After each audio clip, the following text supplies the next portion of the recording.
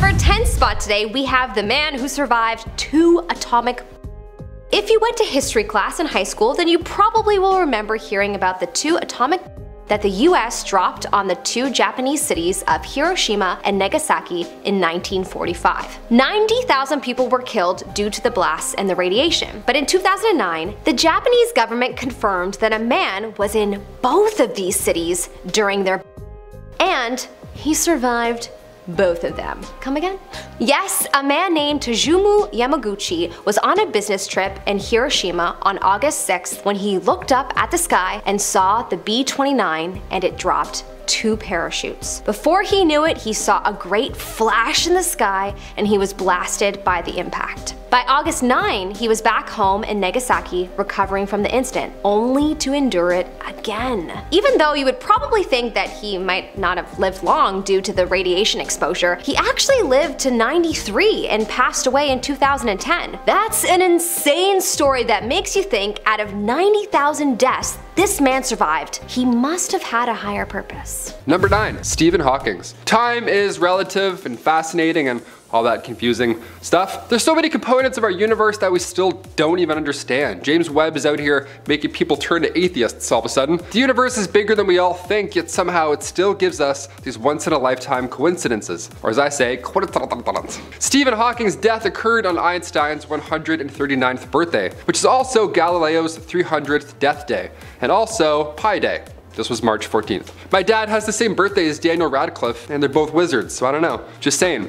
These birthday coincidences are getting out of hand. Coincidences, coincidences, coincidences. There it is, he's got it. Number eight, atomic survivor. On August 6th and 9th, 1945, the United States detonated two nuclear explosives over the Japanese cities of Hiroshima and Nagasaki. This of course was devastating. The results in this reaction, the blast and the radiation they both caused, took the lives of nearly 90,000 people. It was horrible. But in 2009, the Japanese government confirms that there was at least one man who was in each city on both days of the reactions, and he lived to tell the tale. On August 6, Tsutomu Yamaguchi was in Hiroshima on a business trip. As I was walking alone, I heard the sound of a plane, just one, he told a British newspaper. I looked up into the sky and I saw the B-29 and it dropped two parachutes. I was looking up into the sky at them and suddenly it was like a flash of magnesium, a great flash in the sky, and I was blown over just like that. And by August 9th, he had returned home to Nagasaki only to experience the trauma for a second time. Despite the double radiation exposure, Yamaguchi lived to be 93 years old, which is incredible. He sadly passed away from stomach cancer. Number 7. Julianne Koepcke. Miss Julianne has a two for one when it comes to survival stories. I had to include it. Her story starts out on Christmas Eve, a lovely day, 1971, when she was just a teenager and she was on LANSA Flight 508. Now the plane was struck by lightning, which is an actual nightmare situation that I didn't know could happen, and this led to the plane starting to disintegrate midair. I don't even, yeah, it was all bad. In what felt like the blink of an eye for Julianne, she found herself still strapped to her seat two miles above the Peruvian rainforest. She was injured, of course, full of bruises, a broken collarbone, but she was alive after she landed. And in fact, she was the only person who had been on the flight that was still alive. Just fell out of a plane and lived to tell. That is crazy. That is bat insane. But it's like you're out of the fire into the frying pan at this point, right? Now you're in the wilderness all alone with no food, just, you know, a little bit of candy, if anything, from the plane. Julianne had found a small stream which she began to wade in downstream. She traveled along it. And the insects in the jungle were eating her alive and, sorry, this next part is gross, but maggots had infected her arm. It was like bad, worse, even worse. Now we're flowing down a river and maggots are eating me. Uh, this is incredible.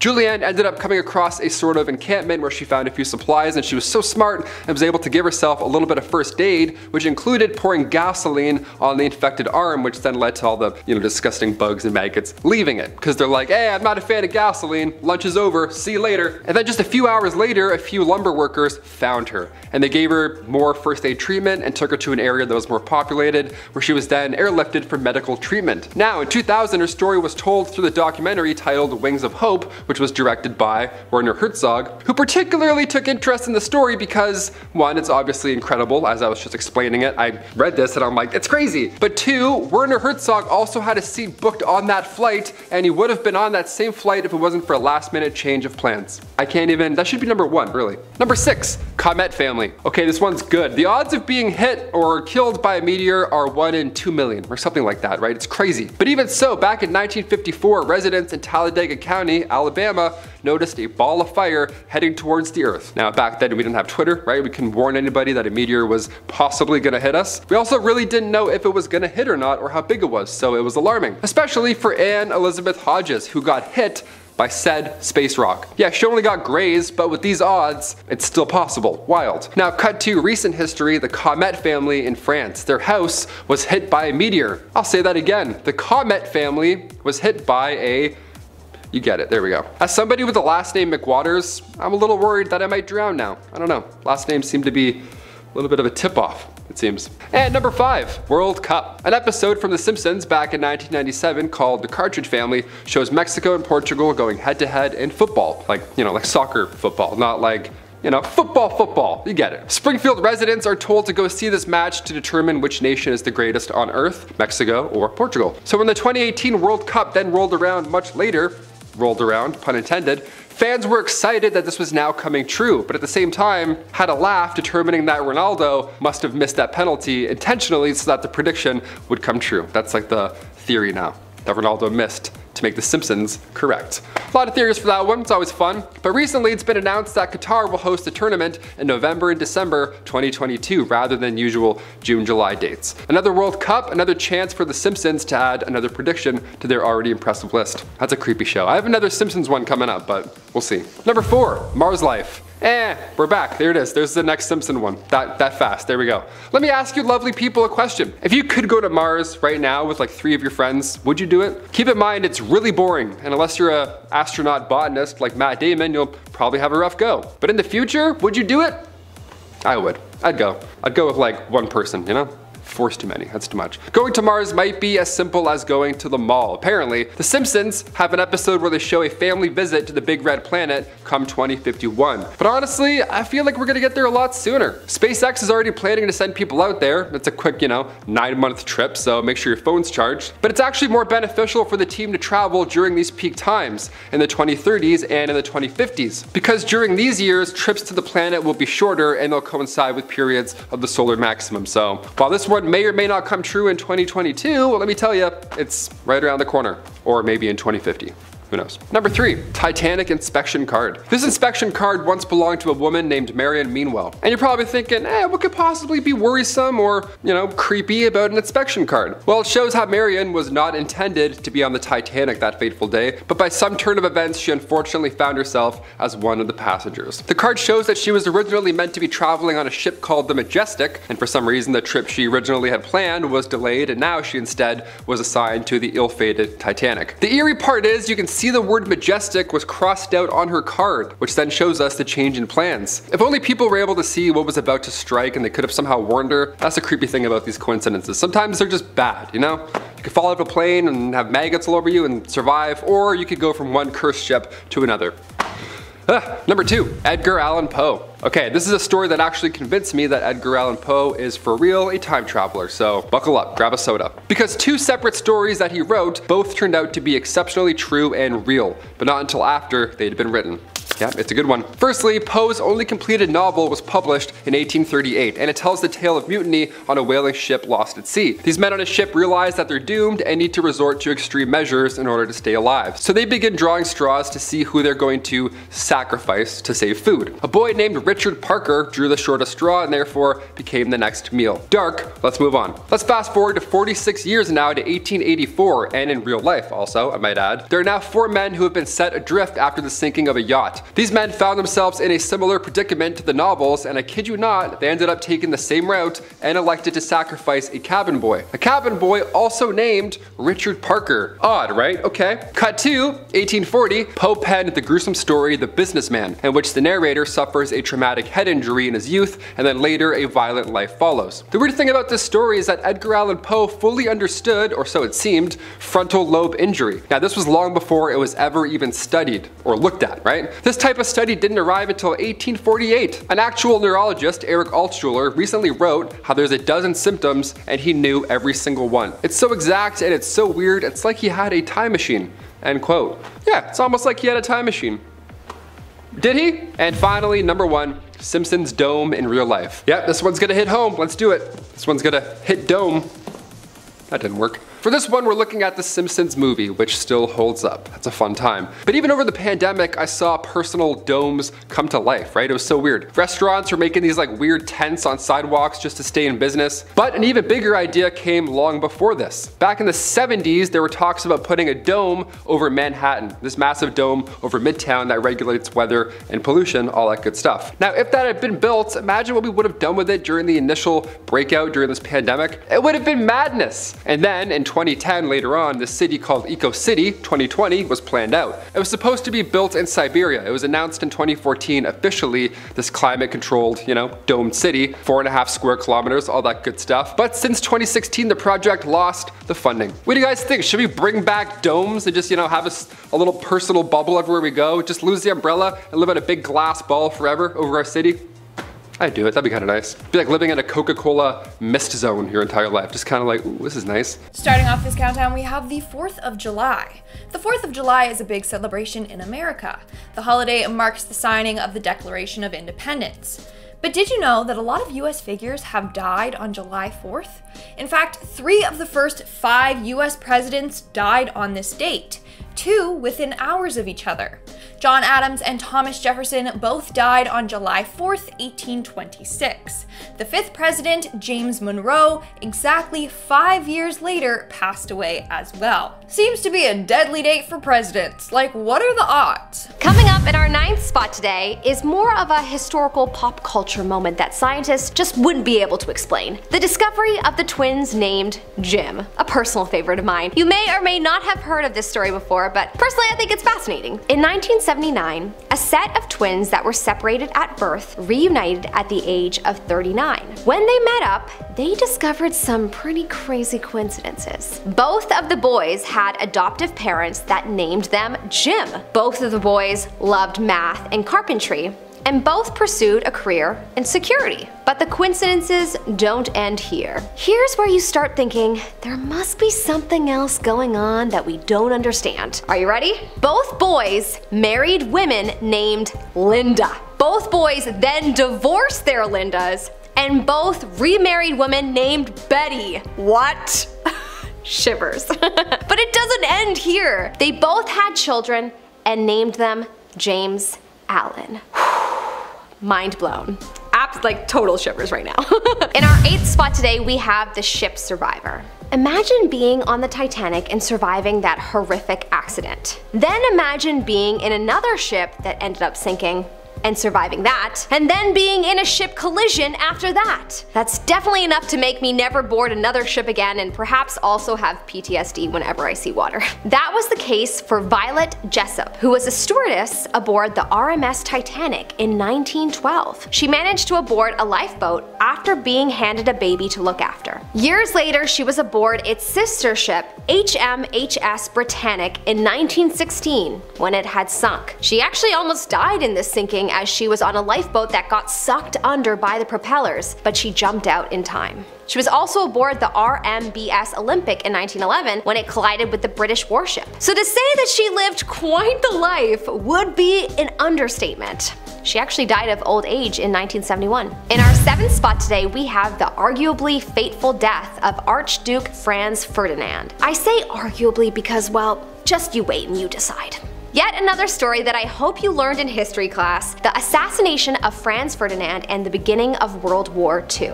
You may have learned that he died after an attack on his car, but you may not know that the bomb that was meant for his car actually hit the car behind him and the attempt failed, and Ferdinand was able to get away unscathed. The assassins, we can imagine, were probably feeling hangry, due, of course, to this failed attempt and most likely hunger, as they then decided to stop at a nearby cafe for a sandwich. The Archduke probably thankful to be alive, dashed off and continued on to safety when his driver took a wrong turn and ended up in front of the sandwich shop. The assassin saw him, shot him and his wife, and thus began the whirlwind of World War II. Makes you think that perhaps he was fated to die, or maybe he was just having a really bad luck day. I would love to know your thoughts in the comment section below. In our sixth spot today, we have the deaths of Thomas Jefferson and John Adams. In 1775, Thomas Jefferson and John Adams became good friends fast. They worked together to draft the Declaration of Independence, and they also spent time together as diplomats for the US in Europe. They had a falling out in 1801 when Jefferson became president over Adams, and they didn't reconcile until 1812. On July 4th, 1826, though, the day that America declared its independence 50 years prior, Thomas Jefferson passed away. But what's interesting is that John Adams, in another state, was on his deathbed, only to say the words, Thomas Jefferson survives. And then he passed away. Does this mean he saw Jefferson's ghost greet him on his deathbed? They both ended up passing on the same date, and not only that, but on the date that was seemingly their historical purpose. Coincidence? I think not. In our fifth spot today, we have the saving of Robert Todd Lincoln. You may or may not know this, but Robert Todd Lincoln is famously known as the son of the former US President Abraham Lincoln. In late 1864, Robert was traveling from New York to Washington when he found himself leaning against a stopped train. When the train started moving, he fell onto the tracks, only to be saved by an actor named Edwin Booth. When he later realized that his savior was the famous actor Edwin Booth, he made sure to thank him. It wasn't until much later did Edwin learn the identity of the man he saved, as he was the son of the president whom was shot by Edwin's brother, John Wilkes That's too weird of a coincidence for me. I guess perhaps if Lincoln's son had died, maybe Lincoln himself wouldn't have been where he was on that fateful day that he passed. In our fourth spot today, we have another weird coincidence revolving around Robert Lincoln. The death of not one, not two, but three American presidents occurred right in front of him. Highly sus, Robert. The first was, of course, his own father's assassination, President Abraham Lincoln. After his death, Robert and his mother moved to Chicago where he planted roots, got married, had children, and created his law practice. He continued to work in politics as the Secretary of War under the presidency of President James A. Garfield in 1881. But while at a railroad station in Washington with Robert and a few others, Garfield was assassinated. Then in 1901, Robert was invited to attend a Pan American exposition in Buffalo by President William McKinley, only to witness his assassination. Apparently, Robert has been quoted as saying that there was a certain fatality about the presidential function when I am present. Is there, Robert? Or did you perhaps concoct the death of your father with your savior Edwin Booth and his brother John, and then perhaps all these other incidences after? In our third spot today, we have the Comet family. It is said that your odds of being killed by a comet is 1 in 1,600,000, so not very high you're more likely to be hit by lightning, and even that is 1 in 500,000. And so, of course, on top of these odds, no one would expect that a comet would hit the home of a French family named can you guess? Comet or commit. I love the French. Comet. What are the odds? Probably in the trillions. Thankfully, nobody in the family was hurt and they now have their very own space rock as a souvenir. Life is so funny and weird. In our number two spot, we have the Civil War House. In 1861, when the Civil War broke out with the first Battle of Bull Run, it at some point made its way through the garden of Wilmer McLean in Virginia. After the mass devastation, Wilmer decided to leave his home and he moved to a new place, Appomattox, Virginia. But of course, the war followed him there and actually came to a close when Robert E. Lee surrendered to Ulysses S. Grant at the Appomattox Courthouse, just only steps away from McLean's new property. Poor guy, he just wanted to live a peaceful, war-free life. Is that too much to ask for? Or perhaps he's psychic and he knew that peace would happen in this particular town. Hmm, who knows, but interesting coincidence. Finally, in our number one spot today, we have the very interesting birth and death of Mark Twain. Mark Twain was born on November 30th, 1835 in Florida, Missouri, the day that a very special comet was in the sky, Halley's Comet. The Halley's Comet returns to the Earth's vicinity approximately 75 years, give or take a bit, due to the gravitational pull of the planets that it passes. About 74 years later, Mark Twain made a prediction that his death would coincide with the comet's next appearance, just like his birth. He was known to have said that it will be the greatest disappointment of my life if I don't go out with Halley's Comet. The Almighty has said, no doubt. Now here are two unaccountable freaks. They came in together, they must go out together. And he was right. He ended up dying April 21st, 1910, the day after Halley's Comet made its return. It was also a very special day as it was the first time the comet was captured on camera. Pretty awesome if I do say so myself. Number 10. Twins named Jim. Okay, we'll kick this part 2 off on a lighter note. This one gets a little dark, so we'll ease our way in, you know? The twins named Jim. Okay, that sounds like a 2026 comedy hit already. Back in 1979, a set of twins were reunited when they were 39 years old at the time. This was of course a big moment in their lives. For 37 years, they barely knew of each other's existence. Then when they finally met, the long lost twins had more in common than they could have ever thought. For starters, both had been named Jim. I spoiled that in the fun title earlier. But their adoptive parents both named the lads Jim. That's insane. Jim? Like of all names, really? And both Jims just happened to love math and carpentry. Both also had jobs and security. And both also had ex-wives named Linda. And they both since married a woman named Betty. This isn't, this isn't like, what? Imagine meeting another you and he's like, oh yeah, I also love knitting and Autobots. What are the odds? No, that's too eerie. You're an alien clone. Something's afoot here. Get out of here. Not just meeting a long lost twin at 40. No way. In our ninth spot, we have Barbary Shore. Barbary Shore is a novel written by Norman Mailer. It's about a character who rents a room in a Brooklyn boarding house in order to write a novel. Then a minor character is introduced, and it's his neighbor who turns out to be a Russian spy. Well, after the novel was finished, Mailer's neighbor was arrested for being a Russian spy and hiding out in his apartment just like in the book he wrote. And he had no prior knowledge of his neighbor. Now that's freaky. In our eighth spot, we have The Omen. The Omen is a 1976 horror movie that caused a number of real life tragedies. As a result, it's been called a real life horror movie or a cursed one. A number of the cast members got into horrific accidents. For example, special effects consultant John Richardson got into a crash and his assistant Liz Moore was cut in half during an accident, similar to the death of a character in the actual film. That's not all. The screenwriter and executive producer were both on different planes that got struck by lightning on different occasions. It's just wild how so many cast and crew members experienced tragedy after working on the film. Is this a coincidence or is the film actually cursed? In our seventh spot, we have William Shakespeare. More like William Shakespeare because I was shook after hearing this. So Psalm 46 in the book of Psalm reads, Here was I like a psalm. The freaky part is that this is an anagram for William Shakespeare. Arranged letters and it spells his name.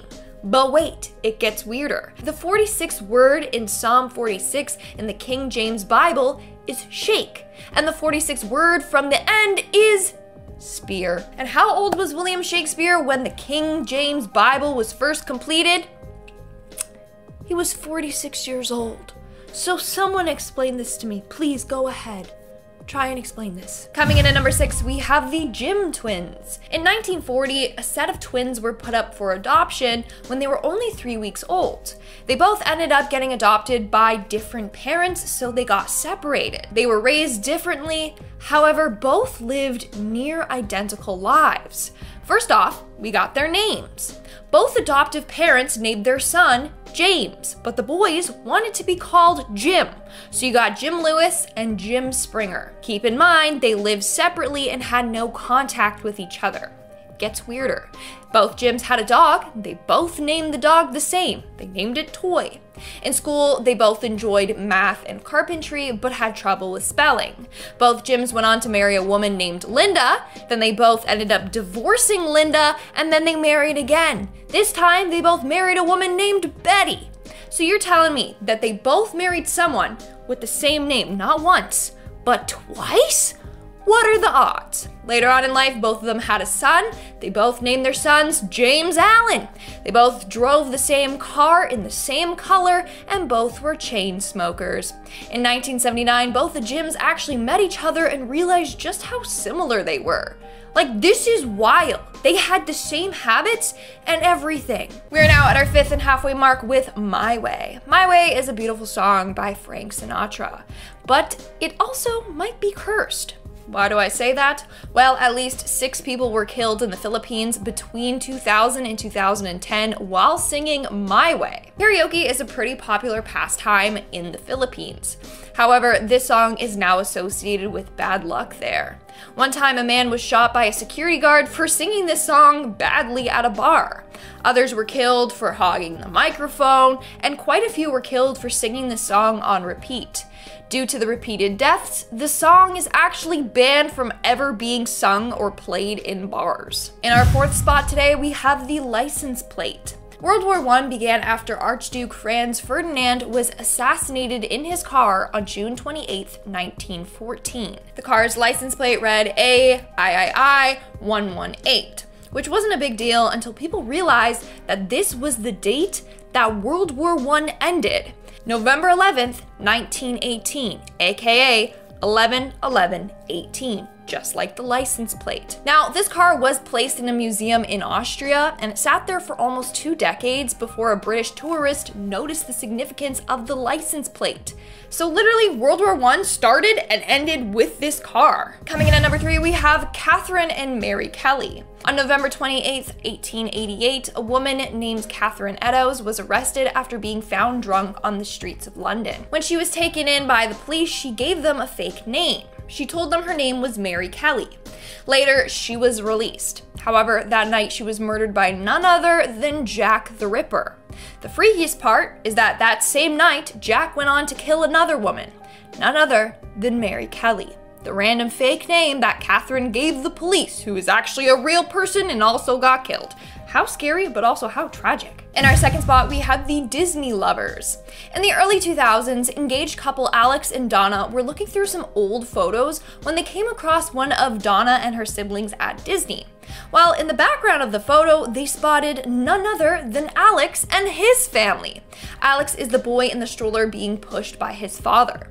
So not only did they go to Disney at the same time, they just so happened to be in the same spot at the same time and got it on camera. I guess that's how you know that your love was meant to be.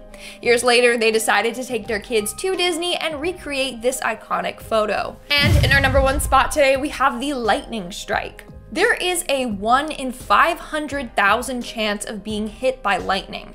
There's a 1 in 9 million chance of being struck by lightning twice. What about being struck by lightning three different times? This happened to a man named Major Walter Summerford. He was struck by lightning three different times throughout his life and survived. Not only that, but when he did pass away, his gravestone was also struck by lightning. What are the odds of that? Like, did he piss off Zeus or something?